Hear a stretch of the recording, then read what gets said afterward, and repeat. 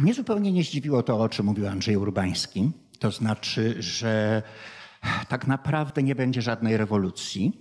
Ja tylko chcę przypomnieć Juskowi, jak e, kilka tygodni temu byliśmy tutaj, e, był tutaj wtedy pan poseł Wojciechowski. Ja go zapytałem, czy e, to, co on mówi przeciwko sędziom, czy to jest rewolucja?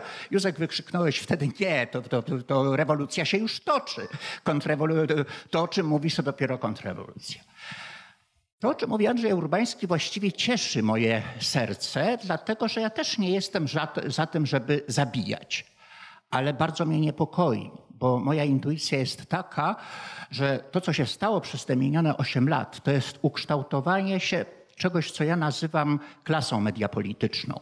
Jedną wielką oligarchią panów z PiSu i panów z PO, którzy przez 8 lat brali diety, którym było dobrze, no i teraz, którzy też kolegów nie dadzą skrzywdzić. I to dotyczy nie tylko e, sejm, e, posłów, nie tylko Sejmu. To dotyczy każdej gminy, gdzie potworzyły się ogromne oligarchie, gdzie potworzyły się, w gminach jest jeszcze problem tego, że e, tam nie ma granicy. W mojej gminie, gdzie teraz mieszkam, w Nurze, wójt jest od pięciu bodajże kadencji.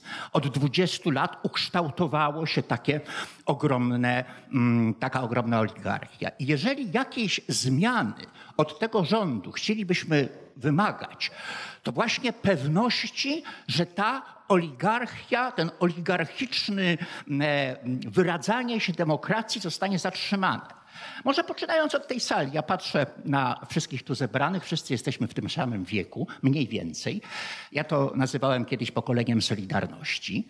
Nam, jako pokoleniu Solidarności, próbowano zabrać należne nam emerytury, no ale przecież ci młodzieńcy, którzy, których pamiętam sprzed 25 lat z tygodnika Solidarność, którzy tam siedzą, są e, autorytetami, są ludźmi, którzy w większym lub mniejszym stopniu odpowiadają za to, co się w Polsce stało co się nie stało.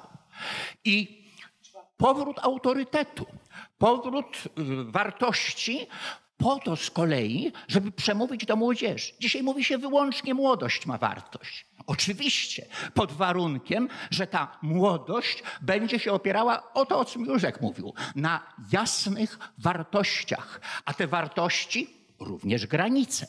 Granice geograficzne, oczywiście, granice kraju, ale granice moralne, ale granice, które nie pozwalają przekroczyć pewnych, pewnych norm. Są to normy obyczajowe, są to normy religijne, są to normy patriotyczne.